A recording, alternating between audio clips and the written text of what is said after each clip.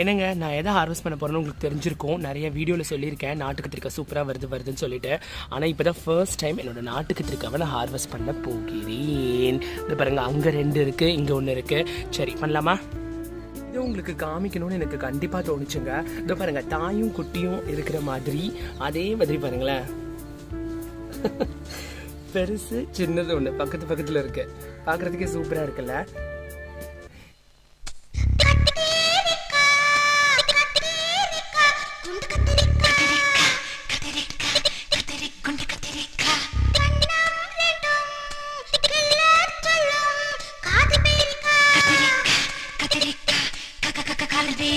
முத்தனை கத்திரிக்காய் கடைக்கு வந்து தானே ஆகணும்னு சொல்லுவாங்க. பட் இதோ பாருங்க இது பழுத்தே பழுத்துருச்சுங்க. நான் அப்படியே விட்டுட்டு இருக்கேன் ஆனால் சின்னதாகவே பழுத்துருச்சு. பட் நான் ஏற்கனவே சொன்ன மாதிரி ஃபஸ்ட்டு ஃபஸ்ட்டு வைக்கிற காய் எதுவுமே சின்னதுலேயே பழுத்துருதுங்க. பட் அதுக்கப்புறம் வர்றதெல்லாம் நல்லா பெருசாக வரும். இங்கே பார்த்தீங்களா இந்த கத்திரிக்காய்லாம் நல்லா இருக்கு. இல்லை?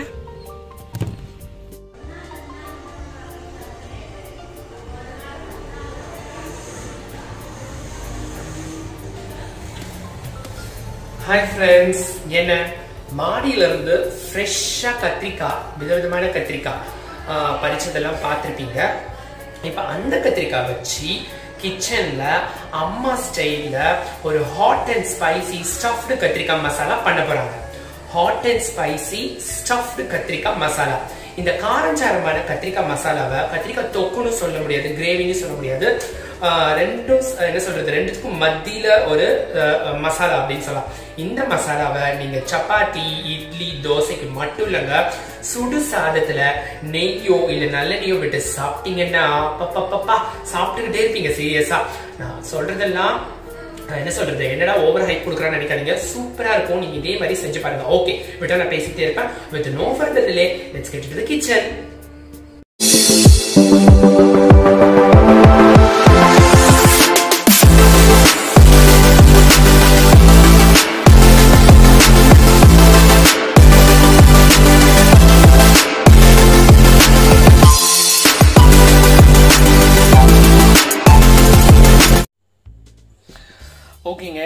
இதுதான் எங்க மாடி தோட்டத்துல ஃபுல்லாவே மாடி தோட்டத்துல பறிச்ச கத்திரிக்காய் இது நான் அன்னைக்கு காமிச்சேன் இல்லையா? ஃபர்ஸ்ட் கத்திரிக்காய் அதனால லைட்டா பழுத்த மாதிரி இருக்கு. பட் அதை யூஸ் பண்ணலாம். ஓகே ஃபைன் இப்ப ஸ்பைசி கத்திரிக்காய் மசாலா பண்றதுக்கு என்ன இன்கிரீடியன்ஸ் அப்படின்னு சொல்லிட்டு அம்மா சொல்லுவாங்க. ம் சொல்லுமா. இதுக்கு வந்து தேவையானது ஒரு ஸ்பூன் மிளகு ம். ஒரு ஸ்பூன் ஜீரகம். ஒரு ஸ்பூன் மிளகு ஒரு ஸ்பூன் ஜீரகம். ஒரு அரை ஸ்பூன் வந்து இது எள்ளு. வெள்ளை எள்ளு. அரை ஸ்பூன் வெள்ளை எள்ளு? ஓகே. ஒரு ஸ்பூன் பொட்டுக்கடலை. பொட்டுக்கடலை. அப்புறம் ஒரு ஸ்பூனுக்கு சோம்பு. கசகசா சும்மா ஒரு பிஞ்சு பட்டை லவங்கம் ஏலக்காய். எல்லாமே ஓகே.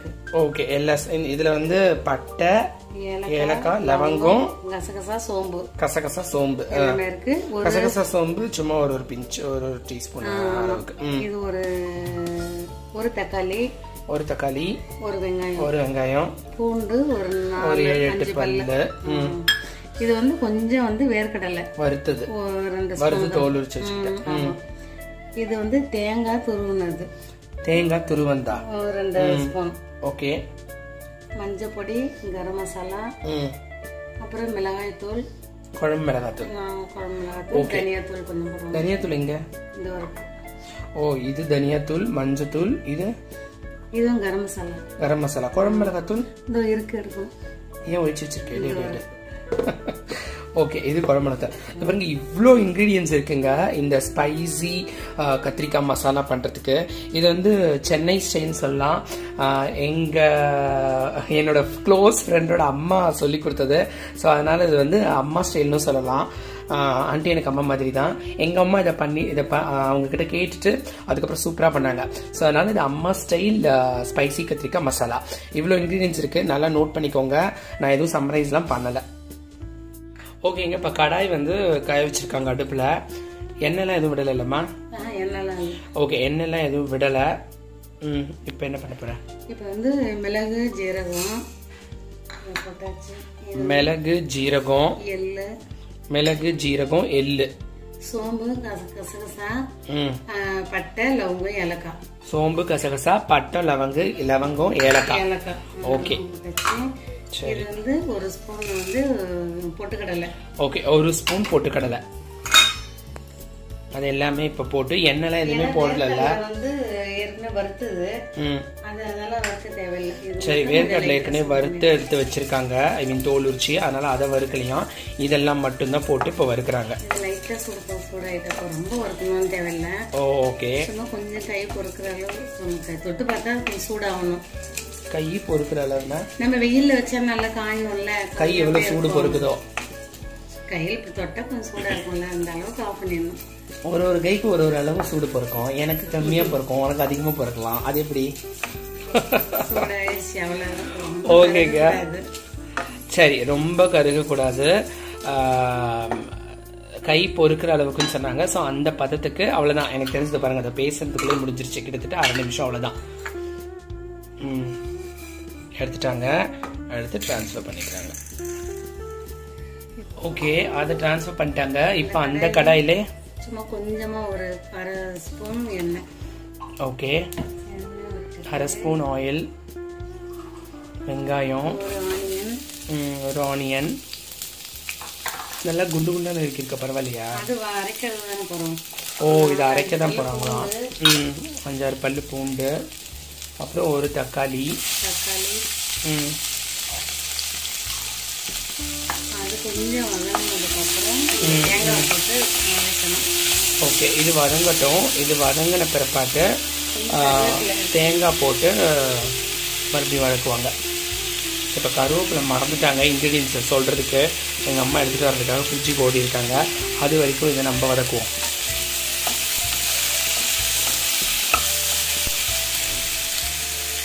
ஓகே இதில் இப்போ கருவேப்பிலை எடுத்துகிட்டு வந்துட்டாங்க அம்மா. ஸோ இதை கருவேப்பிலை போடுறாங்க ம். இதுல இந்த தேங்காய் துருவுனது துருவன தேங்காய். ரெண்டு ஸ்பூன். ரெண்டு ஸ்பூன். ம். போட்டு வதக்கணும். எவ்வளோ நேரம் வதக்கணும்? ஓகே ஓகே பார்த்தீங்களா இவ்வளோ இன்க்ரீடியன்ஸ் இருந்தது. ஃபஸ்ட்டு வந்து அந்த சோம்பு கசகசா பொட்டுக்கடலை பொட்டுக்கடலை தானே போட்டேன் அதெல்லாம் போட்டு அந்த லவங்கம் ஆ, அதெல்லாம் போட்டு ஜஸ்ட் ஒரு அரை நிமிஷத்தில் இறக்கிட்டாங்க. அதே மாதிரி இதுவும் பார்த்தீங்கன்னா ஒரு ரெண்டு நிமிஷம் தான். ஸோ இவ்வளோ இன்க்ரீடியன்ஸ் இருந்தாலும் நான் என்ன சொல்ல வரேன்? அடுப்பில் சூடு பண்ணுற நேரம் வந்து ரொம்ப கம்மி. ஈஸி தான் நினைக்கிறேன். குழம்பு மிளகாத்தூள். ஸோ இதில் குழம்பு மிளகாத்தூள் போட்டுக்கிறாங்க.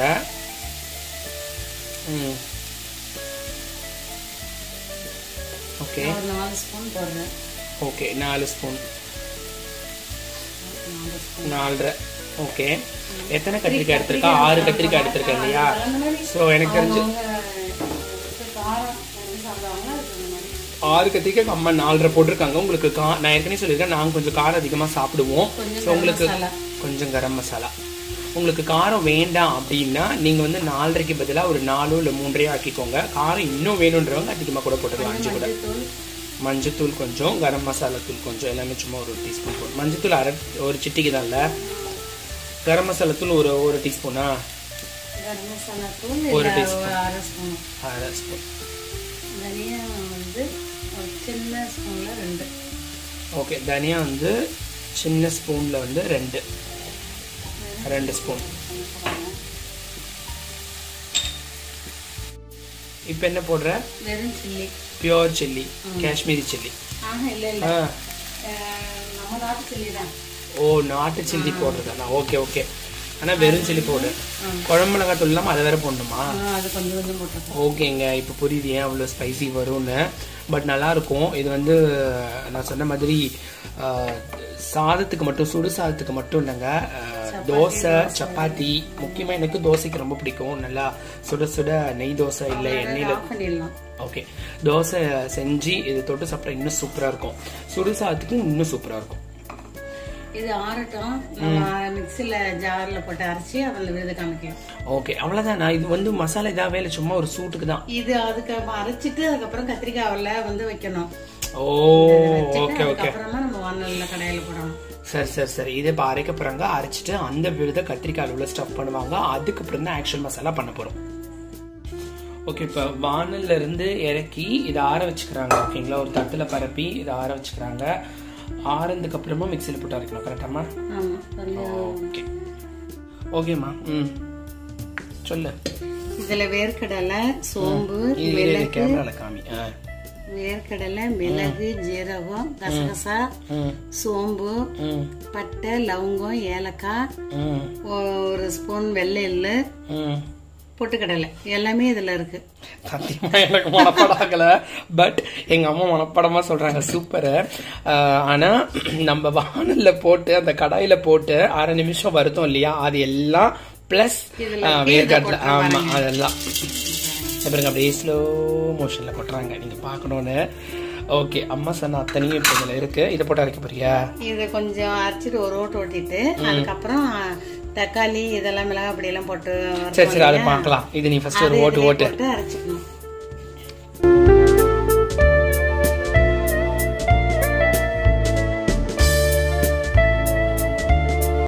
ஓகேங்க கரெக்டாக ஒரு ஓட்டு ஓட்டுனாங்க. அதாவது கால் நிமிஷம் தான். எனக்கு தெரிஞ்ச ஒரு ஒரு ஃபிஃப்டீன் டுவெண்ட்டி செகண்ட்ஸ் தான். இந்த ஓட்டிட்டாங்க. காமிமி இந்த இருக்கு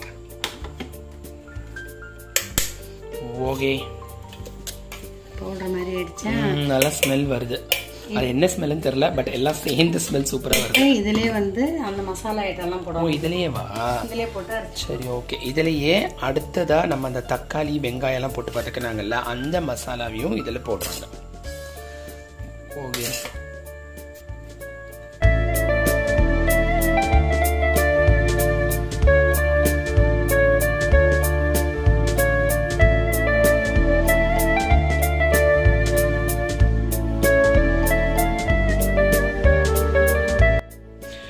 ஓகே இப்போ இதெல்லாமே அதெல்லாம் ட்ரான்ஸ்ஃபர் பண்ணிட்டாங்க. அந்த வதக்கி வச்ச தக்காளி வெங்காயம் அந்த இதை. அதுக்கப்புறம் தேவைக்கு ஏற்ப உப்பு போட்டுக்கிறாங்க. ஓகேங்களா இது இப்போ பேஸ்டா அரைச்சிக்கணும் ஓகே இப்போ தண்ணி தேவையில்லை. ஏன்னா தக்காளி இருக்கு. தக்காளி இருக்கு ஏ சூப்பர் ஓகே இப்போ இதை அரைக்க போறாங்க. இது நல்லா பேஸ்ட் ஆயிடும். பவுடர் மாதிரி ஆகாது பேஸ்ட் ஆயிடும். ஓகேங்க இப்போ இந்த அரைச்ச விழுது பாருங்க. இந்த பாருங்க நல்லா சட்னி பதத்துக்கு கெட்டி சட்னின்னு சொல்லுவோம் இல்லையா? அந்த பதத்துக்கு வந்துருச்சு. தண்ணியே விடலை. இது ஆனால் ஒரு நிமிஷம் ஓட்டியிருப்பாங்க. அந்த முதல்ல ஓட்டின மாதிரி அந்த பொட்டுக்கட்டில் சோம்பு கசகசா அதெல்லாம் போட்டோம்ல அது ஓட்டின மாதிரி சும்மா ஹாஃப் அ செகண்ட்லாம் கிடையாது. இது நல்லா ஒன் ஒரு ஒன்று ஒரு ஏழு நிமிஷம் ஓட்டிருப்பாங்க நல்லா சட்னி பதத்துக்கு வந்துருச்சு. கொஞ்சம் பெருங்காயத்தூள். இதில் கொஞ்சமாக பெருங்காயத்தூள் போடுறாங்க. போட்டு மிக்ஸ் பண்ணிக்கணுமா? ஓகே இப்போ வந்து அந்த அந்த வானிலையும் யூஸ் பண்ணிக்கிறேன். அந்த வந்து வதங்க வெங்காயம் தக்காளி போட்டு வானிலை. ஓகே அந்த வானிலை யூஸ் பண்ணிக்கிறாங்க. வெங்காயம் தக்காளி போட்டு வதக்கின வானிலே. இப்போ காயுது வானல். அப்புறம் என்னம்மா பண்ண போகிறேன் இது கத்திரிக்காயில வச்சு ஸ்டஃப் பண்ண போகிறேன் இந்த விழுது இப்போ கத்திரிக்காயில் ஸ்டஃப் பண்ண அதுக்கப்புறம் எண்ணெயில் கடாயில எண்ணெய் போட்டு அதில் போடணும். ஆனால் பொரிச்சு எடுக்கிறது இல்லைல்ல பொரிச்சு எடுக்கிறது இல்லை அங்கே அதில் மசாலா பண்ணலாம் ஆக்சுவல் மசாலா கரெக்டா அதில் ஃபைனல் டிஷ் பண்ணலாம் ஆக்சுவல் மசாலா. ஓகே. வானல் காஞ்சிருச்சு. இது கொஞ்சம் எண்ணெய் அதிகமாக தான் பிடிக்கும் அதுக்கு. இந்த ஃபைனல் மசாலா பண்ணுறதுக்கு எண்ணெய் கொஞ்சம் நல்லா விட்டுக்கோங்க. ஒரு மூணு கரண்டி விட்டுருக்காங்க எனக்கு தெரிஞ்ச எங்கள் அம்மா. இல்லைம்மா நாலு அஞ்சு குழிக்கரண்டி சின்ன குழிக்கரண்டி ஓகே ஓகே. அஞ்சு சின்ன குழிக்கரண்டி அஞ்சு இது அப்படியே காயட்டும். இது காயட்டும். நம்ம அதுக்குள்ள மாடி தோட்டத்திலிருந்து பறிச்ச கத்திரிக்காய். இருக்கான்னு நான் பார்த்துக்கிறேன் ஒரு நிமிஷம்.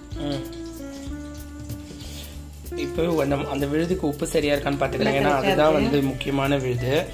இப்போ மாடி தோட்டத்துல இருந்து பறிச்ச கத்திரிக்காய்க்குள்ள இதை வைக்கிறாங்க. வந்து இப்படி வச்சிடணும் அந்த கத்திரிக்காய் ஓகே நல்லா உள்ள நாலா நாலா கட் பண்ணிட்டு கட் பண்ணும்போது பாருங்க ஆனா பூச்சி கிச்சி இருக்குதா என்னன்னு பாத்துக்கணும் நம்ம. ஓகே ஓகே ஏன்னா இது ஃபுல்லா கட் பண்ணலல்ல அதனால. ஸோ உள்ள கொஞ்சம் பார்த்துக்கோங்க பூச்செல்லாம் இல்லாம இருக்கணும். ஏன்னா நீங்க இதை ஃபுல்லா கட் பண்ணல. பூ மாதிரி நாலா நாலா நாலு சைடு தான் கட் பண்றீங்க. ஸோ ஃபுல்லா கட் ஆகாதால நீங்க கொஞ்சம் பார்த்துக்கோங்க பூச்செல்லாம் இல்லாம.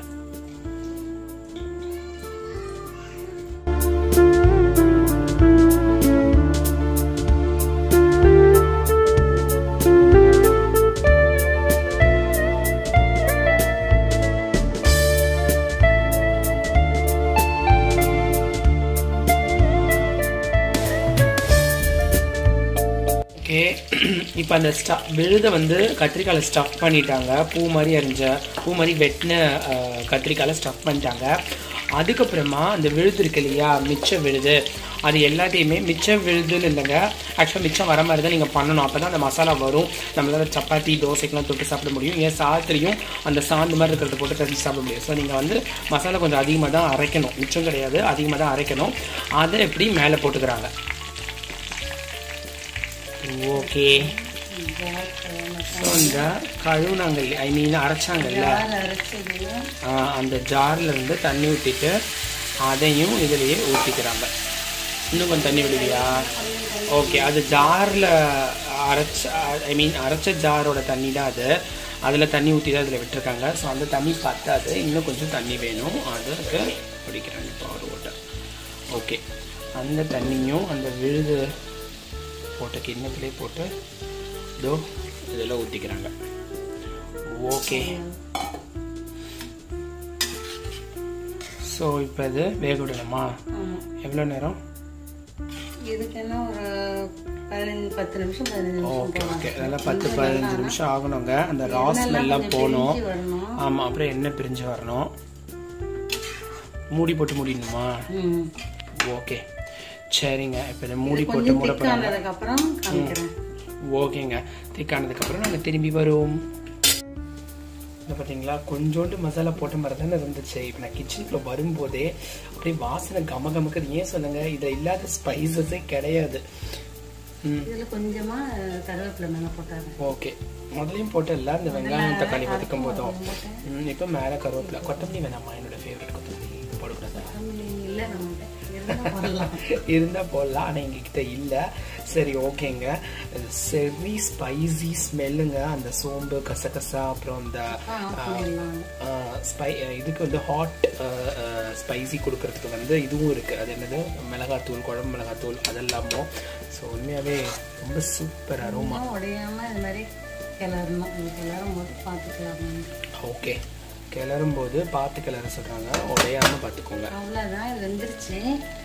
இது அப்படியே மூடி வச்சோம்னா ஒரு ரெண்டு நிமிஷம் அந்த அனல்லே இன்னும் கொஞ்சம் நல்லா அப்படியே இதாயிடும். ஓகே எண்ணெயும் பிரிஞ்சிருச்சு. அது தெரியுதா? ஆமாம் எண்ணெயும் நல்லா பிரிஞ்சிருச்சு சூப்பராக இருக்குங்க. கண்டிப்பாக ட்ரை பண்ணுங்க. ட்ரை பண்ணிட்டு எப்படி வந்திருக்குன்னு எனக்கு மறக்காம கமெண்ட் பண்ணுங்க. கண்டிப்பாக சூப்பராக வரும். இதே ஸ்டைலில் பண்ணுங்க. கண்டிப்பாக சூப்பராக வரும். ஓகே ஆஃப் பண்ண போறியா அடுப்பை ஓகே அம்மா அடுப்பு ஆஃப் பண்ண போறாங்க நான் கேமரா ஆஃப் பண்ண போறேன். ஓகே. ஆஃப் பண்ணல பண்ணல. நான் வராமல் எப்படி கேமரா ஆஃப் பண்ணுவேன்? என்ன ஃப்ரெண்ட்ஸ் அம்மா ஸ்டைல் ஸ்பைசி ஸ்டஃப்ட் கத்திரிக்காய் மசாலா கண்டிப்பாக உங்களுக்கு பிடிச்சிருக்கும். நான் ஏற்கனவே சொன்ன மாதிரி சுடு சாதத்தில் நல்லெண்ணெயோ இல்லை நெய்யோ விட்டு சாப்பிட்டு பாருங்கள் தேவாமிரதமாக இருக்கும். நீங்கள் சாப்பிட்டுக்கிட்டே இருப்பீங்க ஓகேங்களா? அது மட்டும் இல்லாமல் இது நீங்கள் வந்து ஃப்ரெஷ்ஷாக ப்ரிப்பேர் பண்ணி சைட் டிஷ்ஷாகவும் யூஸ் பண்ணலாம். சப்பாத்தி எஸ்பெஷலி சப்பாத்தி இல்லை இட்லி தோசை இதுக்கெல்லாம். ஓகே ஃபைன் இந்த சேனல் இந்த டிஷ்ஷை செஞ்சு பார்த்துட்டு எனக்கு மறக்காம கமெண்ட் பண்ணுங்கள் எப்படி வந்திருக்கு அப்படின்னு சொல்லிட்டு. நிறைய பேர் ஃபோட்டோலாம் கூட அனுப்புறீங்க. வெஜ் பிரியாணி இப்படி வந்தது மஷ்ரூம் இப்படி வந்ததுன்னு இன்ஸ்டால எனக்கு அதை பார்க்கும்போது ரொம்ப சந்தோஷமா இருக்கு. அந்த மாதிரி நீங்க பண்ணி பார்த்துட்டு எனக்கு ஃபோட்டோ அனுப்புங்க. இன்னும் நான் சந்தோஷப்படுவேன். ஓகே ஃபைன் இந்த சேனல் பிடிச்சிருந்தா சப்ஸ்கிரைப் பண்ணுங்க லைக் பண்ணுங்க. மறக்காம ஃப்ரெண்ட்ஸ் குரூப்ஸ் ரிலேட்டிவ்ஸ்க்கு ஷேர் பண்ணுங்க.